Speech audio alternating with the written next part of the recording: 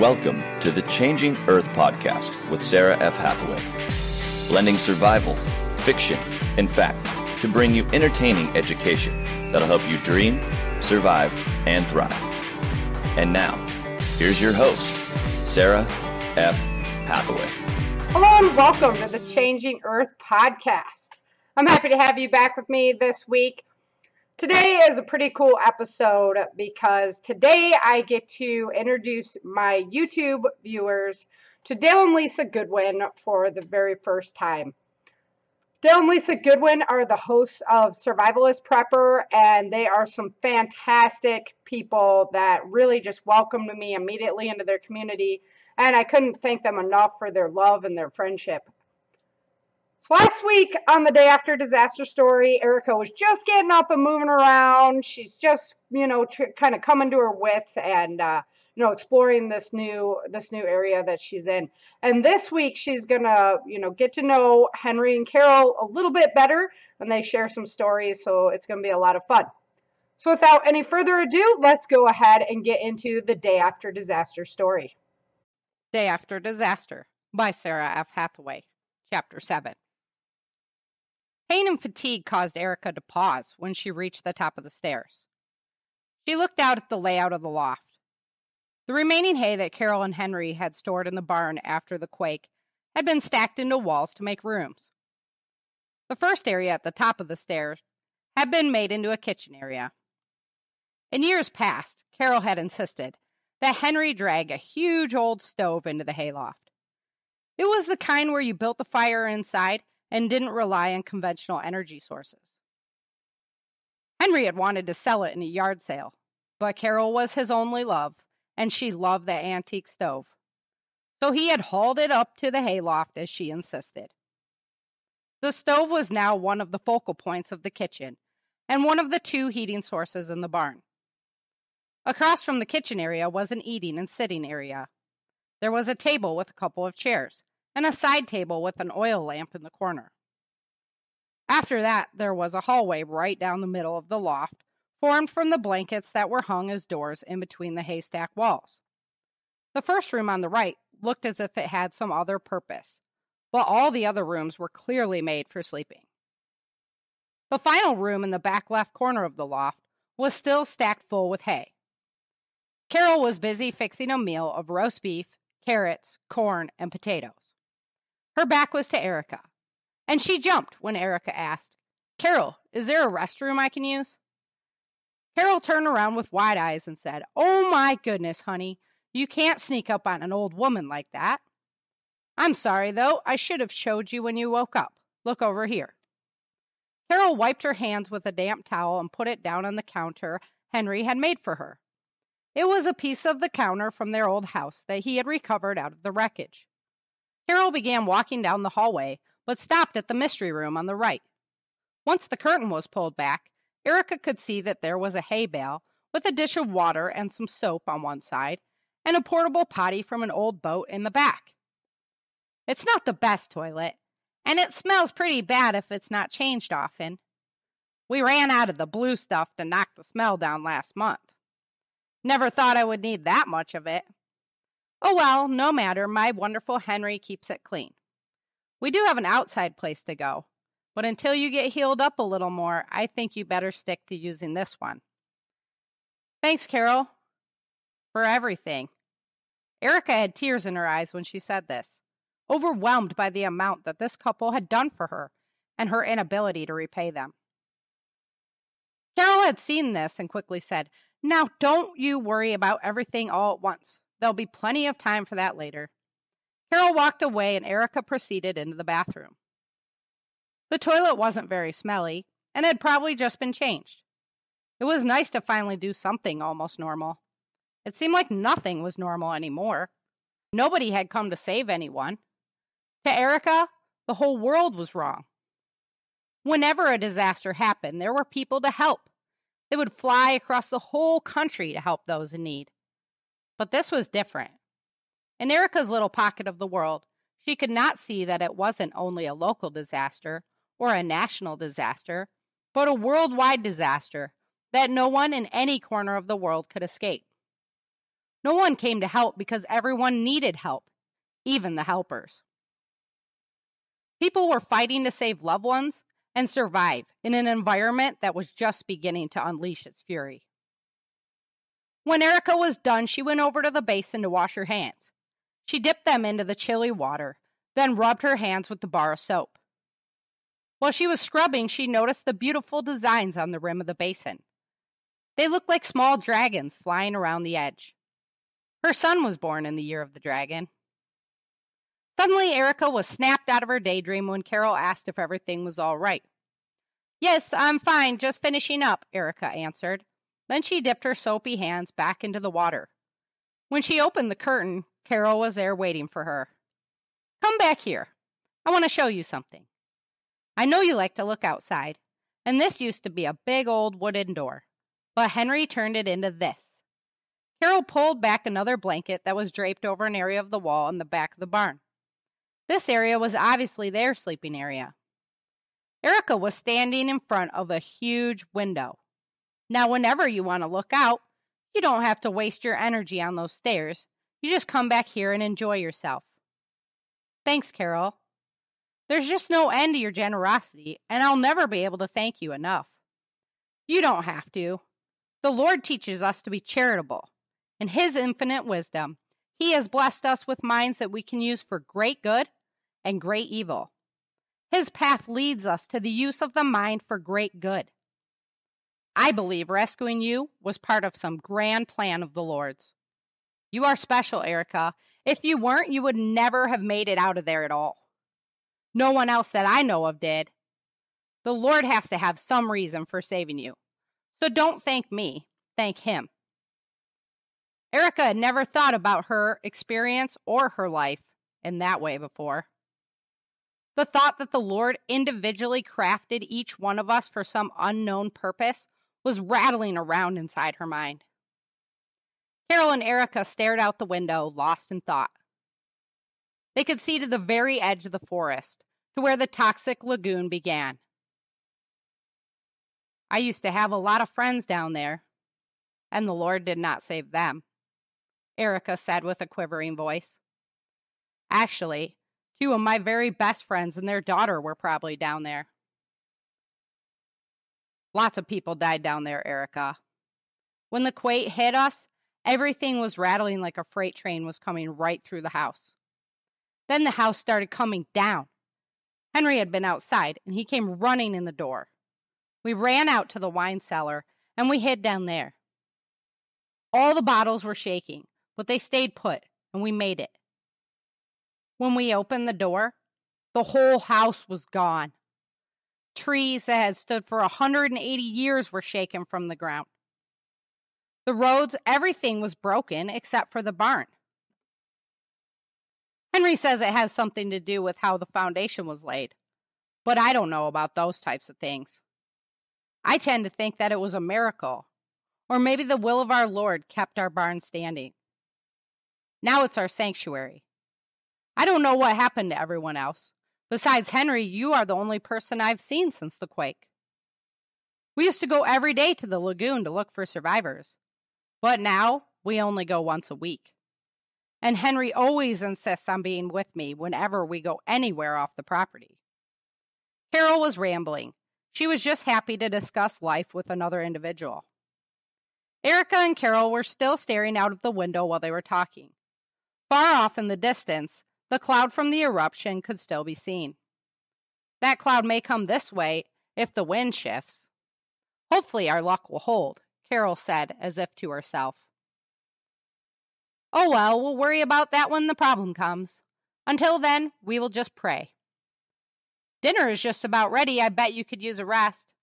Why don't you go sit at the table while I get dinner served and call that man in from his tinkering? Carol was already walking into the kitchen. So Erika followed her and sat down delicately on a chair at the table. It had a nice soft cushion, so Erika's burns didn't sting too badly. And it felt nice to rest her legs. Carol hummed as she worked around the kitchen. The roast smelled awesome when Carol took it out of the oven and pulled off the lid. Erika's mouth was watering, but Carol proceeded to neatly set the table and then went down the rickety stairs to get Henry. Erika was so hungry and the meat smelled so good. It felt like forever before she heard voices and then two sets of feet coming up the stairs. Well, well, still on the move? Henry bellowed as he reached the top of the stairs. Now just leave her alone and sit down, you big moose, Carol countered in Erika's defense. Yes, I'm still up, and the smell of Carol's wonderful dinner is keeping me wide awake. Erika replied in sheer anticipation of the feast, as Henry sat down next to her. Well, that wonderful cooking has kept me going for a lot of years. I'm sure you'll feel as good as new in no time, Henry chuckled. I hope so, Erika said with a far off look in her eyes. You'll see them soon enough. Right now, let's worry about getting you healthy enough to make the trip to see them. Henry had seen the look in Erika's eyes and knew her thoughts were of her family. Erika wondered how he knew, but felt that he was right. Her mission was to get well enough to get home to them. That's enough chatter out of you two. Let's eat before it gets cold, Carol said in a cheerful voice, trying to break the tension. She was carrying some meat sliced on a platter and a bowl full of veggies. Once the food was served, Erika went to dig right in, but Carol abruptly stopped her. I know you're hungry, honey, but we must give thanks to the Lord for providing us with such a bountiful meal, especially in these uncertain times. Plus, it's the 4th of July, and I think our country could really use a special prayer right about now. Erika withdrew her hand and folded it with the other. Then she bowed her head and waited for Henry to finish the blessing. Erika's prayers went out to her family, and she asked the Lord to give her enough strength to make it home to them. When Henry was done, they dug in, and Erika ate like never before. Everything was so good, and it had been so long since she had a wonderful hot meal with big chunks of juicy meat. When she had packed every corner of her belly full, she sat back in her chair. Henry and Carol were watching her. Well, you must be feeling better. I haven't seen anyone eat that much since my son was 16, Henry said, chuckling again. Now, Henry, you just leave her be. She needed it, Carol countered. I've been saving something for a special occasion, Henry declared. Henry ran down the stairs like an excited schoolboy. Then the door that was under the stairs opened and closed. I wonder where he is off to. Oh well, I better get these dishes done. Don't want the ants coming in for our leftovers. Let me help you, Erika insisted, and got up to help. Her body hurt and she winced a little. No, honey, you just rest. I got it, Carol replied. No, I insist, Carol. You've done so much for me already. I will feel horrible if I can't make it up to you, Erika pleaded. Just don't overdo it, honey. You're just like my daughter, Christy. She joined the Marines at 18 and stayed for life. Always so strong with an unquenchable sense of duty. She never had any kids, but has worked hard for our country. Carol was just making small talk as she washed the dishes in a big basin. Erika cleared the table, then began to dry the dishes that Carol was washing. Now, my son Harold, on the other hand, was always such a lover. He liked hugs and was such a good baby. Now he has three kids of his own. His oldest is a girl named Jen. Kim is the middle child, and his son Rob is the youngest. Do you know if they survived? Where did they live? No, I don't know, but my faith in the Lord will protect them. They lived in Colfax, but it took Henry four days just to get to Auburn and back, so who knows how long it would take them to get here, Carol answered with hope in her voice. Yeah, and who knows how long it will take me to get home, Erika wondered. Just have faith, honey. You've made it this far, and that's much farther than most. Everyone will get where they need to be in time, Carol replied assuredly. Are you two up here bumming each other out? Henry questioned from the stairway. He thought often of his son and hoped that Harold had the same determination to get home as this young lady in front of him did. But now was not the time to think of the many troubles that were plaguing them. This is supposed to be a celebration. Erika and Carol both jumped. Having been so involved in work and conversation, they did not hear his approach. Here's the surprise. He held up a bottle of King James III cognac. Now, let me help you get those dishes put away, and we'll work on drinking away those sorrows. Henry, you devil, Carol said with a twinkle in her eyes. They all worked together to finish up the dishes, then sat down around the table together. Henry opened the bottle and poured them all a glass. Erika took a sip of the potent spirit. She had never been a big lover of alcohol, and this was extremely strong, but strangely smooth as well. She drank down the first glass and held her glass out for more. Now, we can't drink it all, Henry said as he was filling her glass. I'm saving at least half of this bottle for when Harold gets here with Betsy and the kids. He almost kicked himself for bringing up the kids again and quickly added, Anyway, like I said, this is a celebration. How about some tunes while we drink? Normally, a radio would have been turned on, but now, with no electricity, Henry reached for a case holding a fiddle. He began to play a happy tune, and while he played, they drank from their glasses. All of Erika's pains began to melt away. After a while, their glasses were empty, and Henry put down the fiddle to refill them. Now that we're all feeling better, let's hear that story of yours, little lady. Henry was full of anticipation. Before she starts, why don't we go down onto the porch to enjoy some air? It just feels wrong to sit inside on the 4th of July with no fireworks blasting away down in the city. Carol stood up and went to get the lantern in the corner so the three of them could bring it along. She was moving with more grace and ease. Probably the alcohol was having a pain relieving effect on her, too, Erika thought. Sounds like a wonderful idea to me, darling. I'll bring along the fiddle so we can have some music, too. Henry packed his fiddle back into its box and started heading for the stairs. Erika got up, too, she was still dumbfounded by the fact that it was the 4th of July.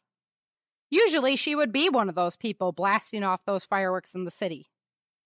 Even though they lived in the country, Erika, Vince, and Dexter had always gone down to their friend's house in the city for the 4th. They would all pitch in and buy one or two of those gigantic boxes of fireworks that they have for sale at the roadside stands.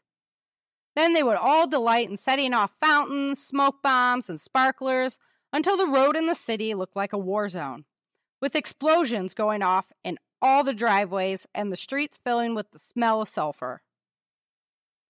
Erika never really thought that the 4th in California was all that great. You weren't allowed to fire any fireworks into the air because of the wildfire risk. Since Erika hailed from Michigan, where there were all kinds of fireworks going off every 4th, she didn't think that the fountains were all that spectacular. Plus, Erika hated the new sparklers. They were designed to be safer, but they sucked. They didn't light well and would burn out quickly. She longed for the old school wire sparklers. Sure, they burned you a little, but they stayed lit for a lot longer and burned a lot brighter. When the three of them got out to the porch, Erika knew that Carol had the right idea. It was so fresh outside, but there was a smell in the evening air that Erika knew immediately was the smell of a major wildfire. Carol, it smells like a fire, but there was no smoke today. Was there a fire? Erika wondered. Don't really know, Erika. After the quake, there were days when the smoke hung thick for long periods of time. It would clear and then come back. Without the TV, we have no idea where it came from.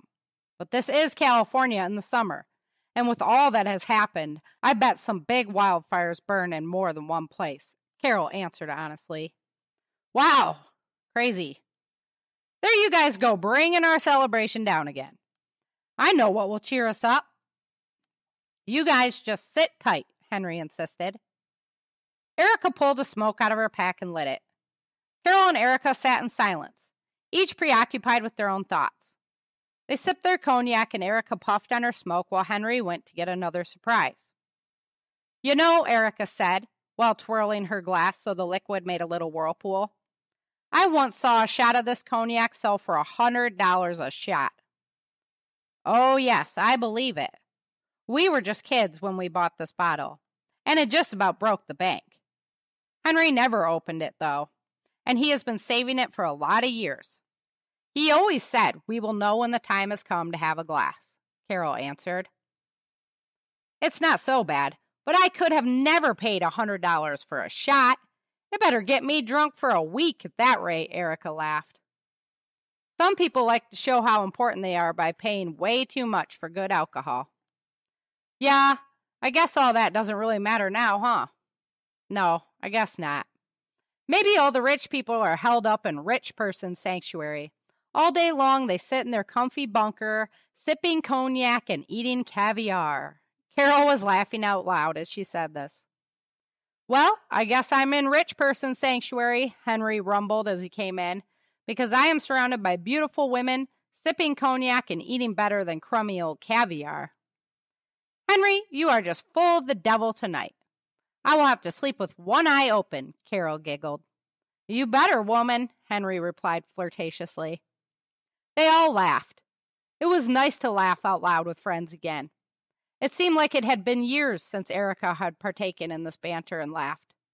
There is something to be said about laughing with friends. It brings joy to the heart and is something that should be appreciated. People used to take this social interaction for granted, never realizing that one day it would be so precious. It relieved stress and gave hope to those who could not see it. Erika had begun to slur her words slightly and was having so much fun goofing around. She was doing a fine job of forgetting the recent past and was not looking forward to retelling the story of her horrible experience in the cell, as she had begun to call it. Henry could see this, but wanted the story anyway. Now was a perfect time for the telling. The senses had been dulled, and he knew its telling would not affect her as much now. Well, you better get used to telling your story because you may have been the only one to survive. Many people will want to know how you survived the flooding of the Sacramento Valley, Henry said matter of factly while staring Erika directly in the eyes. Erika looked up startled. How could this man read her mind so well? Was she so transparent? She wanted to escape, but she knew that he was right. She would have to tell and retell the story until one day it would become legend. The legend of the girl who survived a toxic flood because of cellophane and duct tape. Oh boy, what a legacy, Erika chuckled to herself. But Henry knew that Erika was a very special individual, not just strong, but deep in spirit and in possession of a very big heart. If she was going to get home, she would need all of these strengths. There was no time to be weak. Erika would have to face the reality of this situation. She would have to face what she had gone through and the bleak situation she was now facing.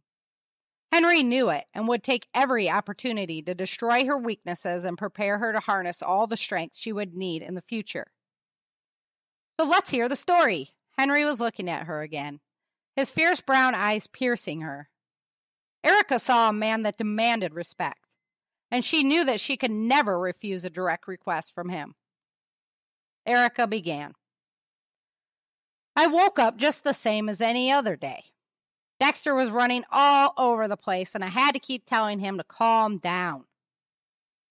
I got the dishes done, and I went down to my in laws to check on the house. My in laws were up in Washington visiting my husband's grandmother. I could see some raccoons were bothering the chickens at night. I know they are nocturnal, but I was eager for something to do, and Dexter was so antsy. So I went back home, which wasn't very far away, and loaded up Dexter's BB gun, my dog Ripper, and my slingshot. I called Vince on my cell phone and let him know that I would be spending the day there. It was hard for Erika to talk about her family, and her voice began to quiver. We didn't find any coons, but we did have fun running around, shooting, I knew my slingshot wasn't really going to work, but I figured Dexter would have fun with it and his gun. We had a blast running around in the woods. Then I went and dropped Dexter and Ripper off at my mom's house. We talked about our days for a while, and then I had to change to go to work. I hugged and kissed my mom and Dexter. As I drove off in my car, I looked in the rearview mirror, and that was the last time I saw them. I called Vince on my cell. He was on his way home. I let him know we were safe and sound after a day of coon hunting and that I loved him. That was the last time I spoke to him. After that, I drove down to work at El Primero. I was late because of traffic, so I threw my stuff in the break room and went to work, prepping food in the kitchen. Halfway through the night, this girl I worked with, Casey, came in and asked if I would grab a bottle of our best Merlot for this frequent customer that always acted like an arrogant bastard. Erika stopped for a minute and realized her language may have been too strong to use in front of Carol. She felt like she had just said the F word in front of her grandma and had to apologize. Pardon my French, Carol, but he really was a jerk. Don't worry, Erika, just don't stop now. Carol was more irritated about the break in the story rather than the harsh language. Okay, where was I? Oh, yeah. So I went down to the basement, and as I was grabbing the bottle, the quake started. Now, this was not just any old basement. It had originally been a bomb shelter constructed during the Cold War by some lunatic fanatic that owned the house. Erika's story was starting to flow now, thanks in part to the alcohol. She went on to tell Henry and Carol all about being trapped under the wine rack, sleeping on tablecloths and napkins, living off oats, fruits, and nuts, her first failed attempt at escape, and how she thought up the suit and the raft. Then she explained her escape, her first night under the stars when she got caught in the eddy, and finally her long voyage across the toxic sludge. By the time she was done, it was very late, and the oil lamp needed more fuel. Carol got up to fill it. That is some story, young lady. You must truly have a guardian angel at your side. I wonder how many other people may be stuck under the sludge, Henry pondered. I don't know, Henry. I didn't even think about other people stuck in basements or crazy bomb shelters. I didn't even try to look for anyone else alive. All I could think of was getting to shore, getting home to my family. Believe me, Henry, I saw my fair share of bodies above the ground, though. Erika was freaked about the idea that more people could have been stuck in the situation just like hers. Maybe they were still there in cells under the water. Maybe one day the water would recede and they could open their doors into the air instead of a lake. If they made it that long. That's not what I mean, Erika. Don't go crazy over it. You will learn that in life it's never good to think of the what could have been, only what was and what will be. You must stay focused on the future. No one could have survived without a suit like yours, and you wouldn't have made it yourself if you got to shore any later than you did. Henry was kicking himself for planting the thought in her head. He had looked for survivors for so long that he couldn't help wondering. Carol brought the lamp back to the table and announced, I'm going to bed. It's too late for an old woman to be up worrying. She was looking tired, and she kissed Henry before she headed up the stairs. Erika had watched them embrace and kiss, the way she and Vince always did when they shared passionate moments together. She longed more than ever for the touch of her man and his warm love that always made her feel better no matter what. Everyone has hard days, and Erika had her share as well. But the love of this one man could light up her whole world. He would always find a way to make her smile no matter what, and sometimes when Erika was trying to act really mad, it drove her nuts. What she wouldn't do for that feeling now. Good night, guys, and don't keep her up all night talking, Carol yelled down the stairs as she reached the top. Yes, dear, good night, Henry answered as the light at the top of the stairs went out. All that was left was the dancing light from the lantern on the table. So even though the chapter may have gotten kind of serious at the end, it's always an emotional telling of Erika's story because of the drama that she had to live through. But you know, the important thing to focus on in this chapter is that, you know, the being able to sit down and laugh with people and share in those feelings, it is more powerful than any of us know. And here to talk to us about that today are Dale and Lisa Goodwin. In early 2013, Lisa and Dale decided to create survivalistprepper.net and become a bigger part of the preparedness community. They are not the overboard tinfoil hat wearing conspiracy theorists, although Dale sometimes accuses Lisa of that. They're just like you and me, everyday Americans that enjoy the freedoms that this country offers. Lisa is more of the prepper than Dale is, and he's more of the survivalist or outdoor type. And they write articles ranging from first aid to food storage to primitive and wilderness skills. Basically, anything that involves preparedness and survival. Welcome to the show, Dale and Lisa. Appreciate having you here. Thank you. Happy to be here. So, you guys have been hosting your show, Survivalist Prepper, for a while now. How have these feelings of laughter and good humor helped you connect with your guests? I, I think it's a huge part of it because we we just kind of are who we are and then it goes into you know our relationship why we still get along after all these years and and all of that too because i think you have to you have to make light of of especially in prepping of certain subjects or you're just going to lose your mind what do you think lisa i think um, when it's it's been funny that i've noticed when we're um, chatting with the guests or whoever we're we're speaking with the the banter that goes back and forth and it just it makes you know makes it lighthearted and it's fun and and it's much more enjoyable to chat with somebody when you know it's it's kind of fun and you're enjoying it instead of forcing it out. So just being being happy and drawing that from other people, it's it makes communication much easier. Yeah, it's mm-hmm. kind of the the icebreaker, right? When you can laugh right. with somebody and open up those good feelings.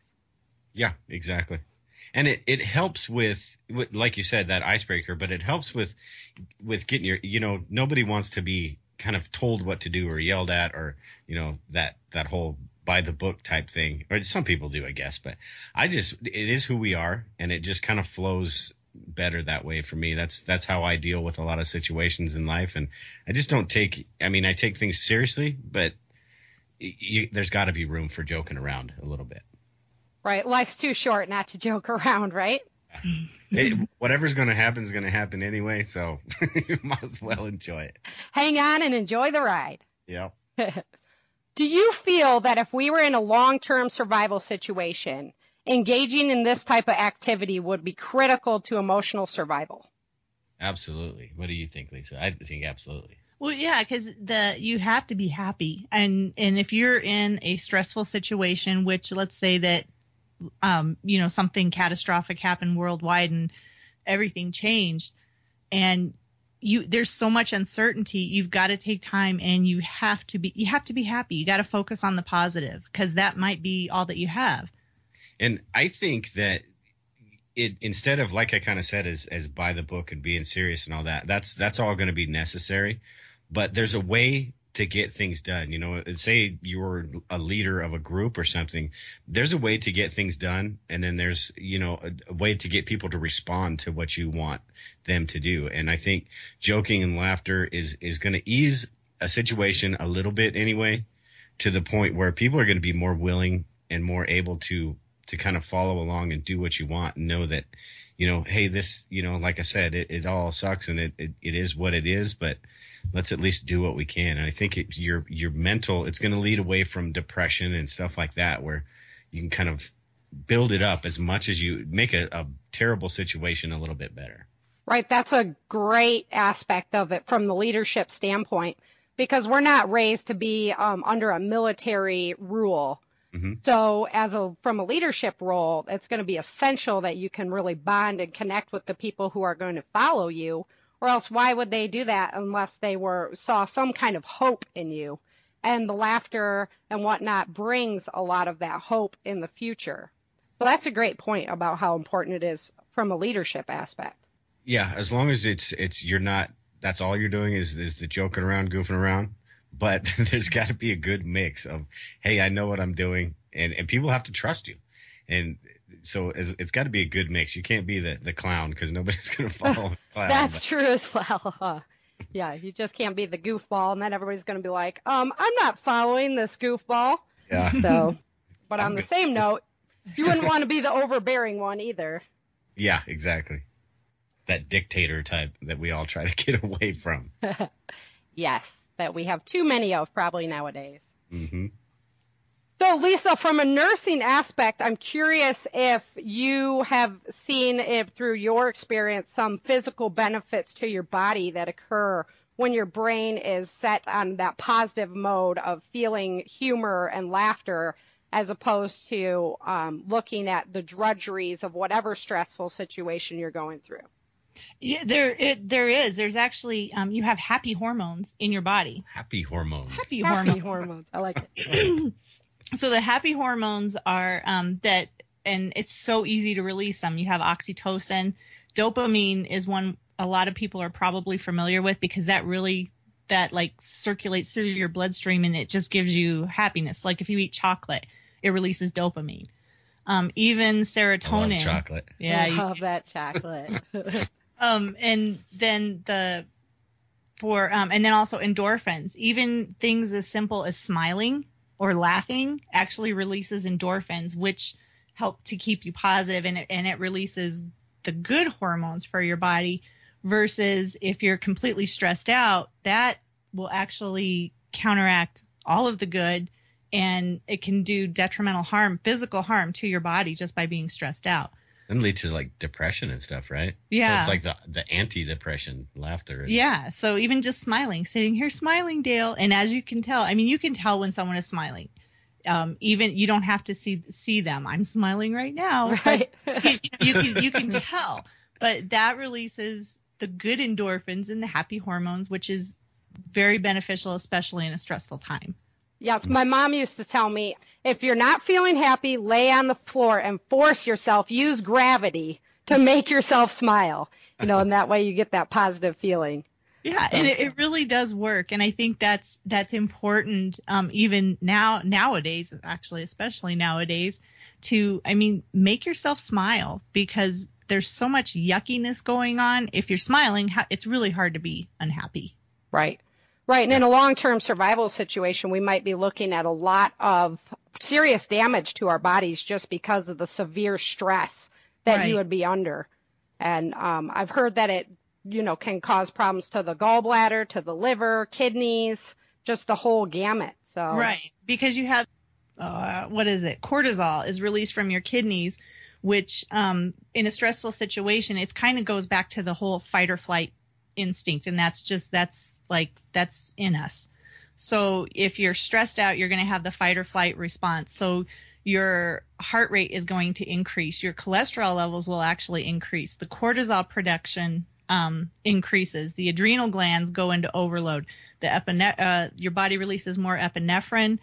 The liver will actually produce more glucose, which in a long-term situation that can actually lead to diabetes because then your body doesn't your pancreas can't keep up with the amount of glucose that's being, you know, pumped out by the liver. So then you end up with like long term that could be life threatening um, health concerns. Right. And not the time you want to be coming down with diabetes. Probably not a good time. Yeah, Unless you have a pig and you figured out how to use that pig, you know, the, the insulin produced by the pig, which I, I haven't figured that out yet. Me neither. Me neither. So, well, as you guys are parents of five children, Yeah. so I am sure that you know the importance of laughter to instill bonding and hope in your future. Oh yeah, it and actually our we joke quite a bit with our kids. It's just the way our family structure is because we want them to feel like you know we're not the dictator parents. They can come to us with anything. We joke around sometimes a little bit too much. Um, it, it, it- Dale. me especially. but the kids the kids like that i mean it's it's nice to have kids that like their parents we were both raised to where i think lisa your parents were uh, uh, that's the reason you are the way you are today right Right. Because somewhat. my my parents weren't there. They were always they were always too busy in their own worlds doing their own things, and you know they would make justifications. Well, we're doing it for you, whatever, blah blah blah. But I mean, I noticed it while I was growing up, and to the point of where I was like, when my kids were born, I was like, I'm I'm not going to do that. I'm going to make sure I'm here for my kids. I'm going to make sure that you know my kids can be kids.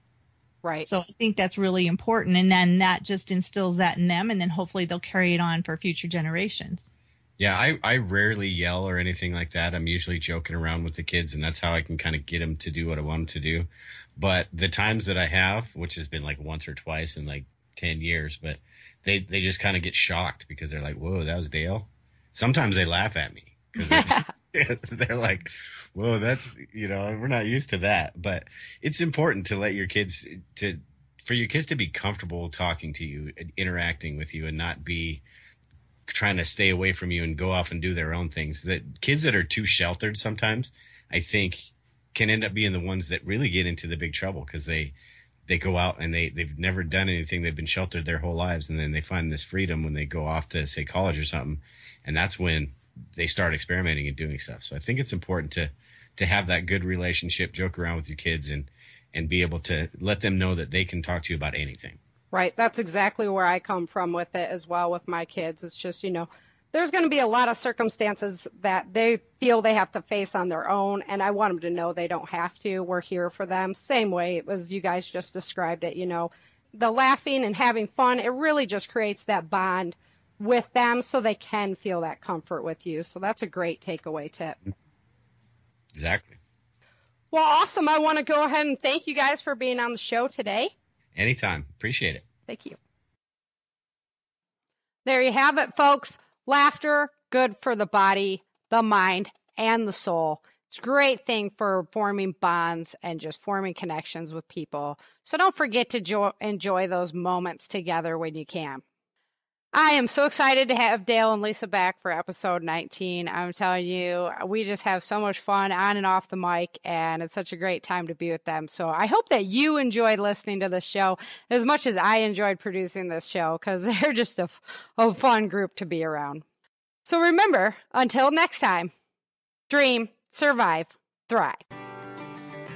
Thank you for joining Sara for this episode of the Changing Earth podcast. Don't forget to pick up your copy of Day After Disaster at www.authorSaraFHathaway.com. If you love this podcast, please head over to iTunes and let everyone know by leaving a review.